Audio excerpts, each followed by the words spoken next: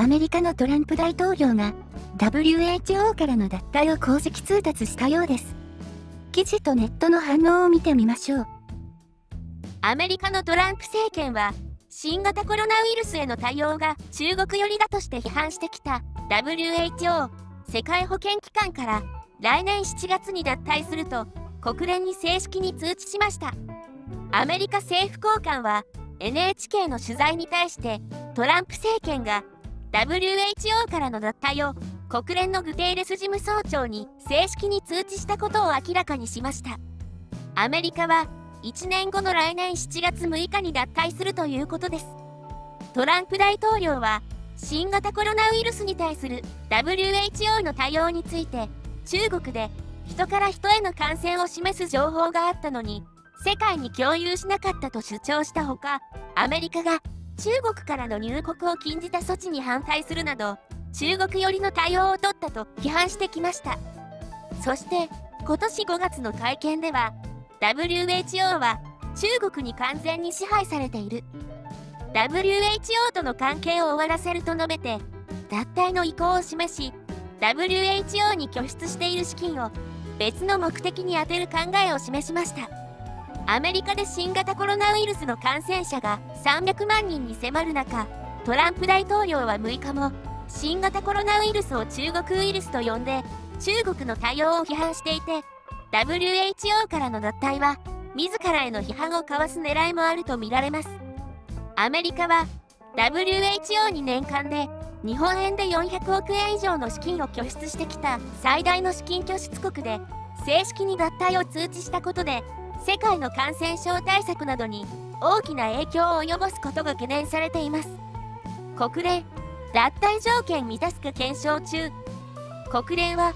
グテーレス事務総長が今月6日にアメリカ政府から WHO 世界保健機関から脱退するという正式な通知を受け取ったことを認めました。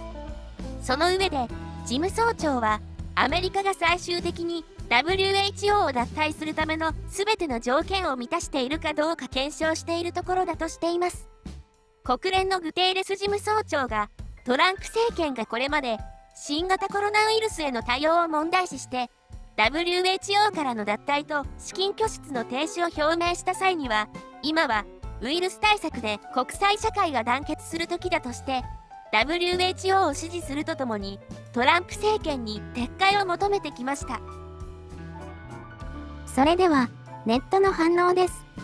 さあ面白くなってまいりました。はよ日本も追従せよ。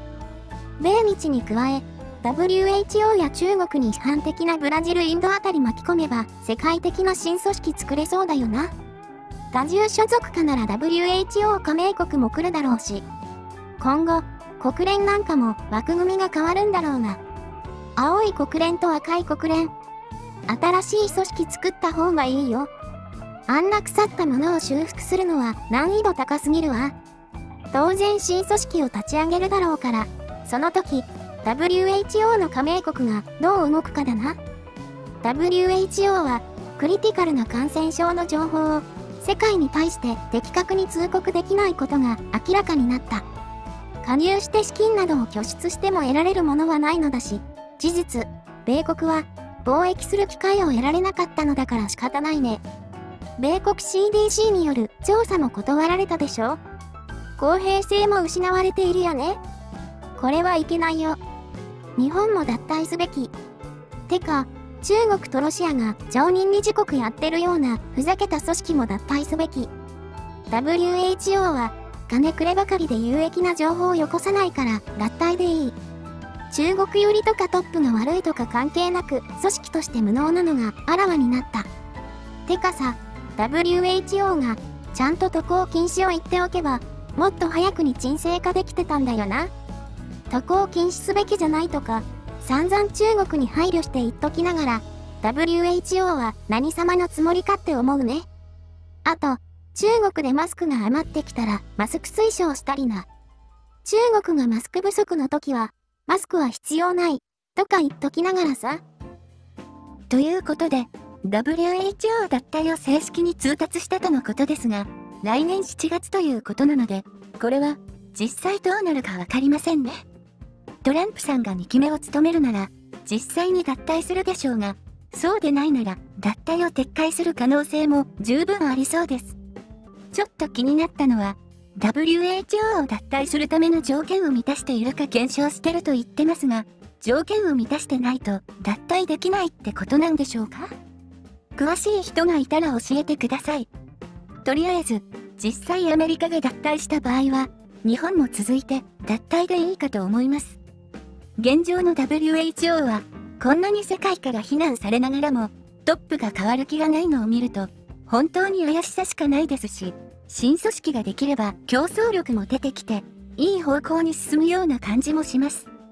当然、透明性、公平性のある方にお金も流れていくと思いますしね。そうやって、2つの組織ができて、組織同士で情報共有しながら、意見が食い違えば、各国は、信じる組織の方の情報を信じればいいんじゃないかなと思います。意見が分かれた場合は、どうして、そういう結論に至ったかの経路なども公表することで、さらに再度お互いが検証することで、正解に近づくことにもなると思います。ということで、ご視聴ありがとうございました。それではまた次回の動画でお会いしましょう。